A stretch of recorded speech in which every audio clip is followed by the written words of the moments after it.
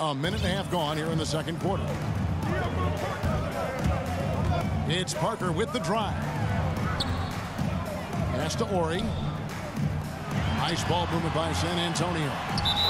And the officials call goaltending, so they'll award the basket. Just barely too late and, catches it on the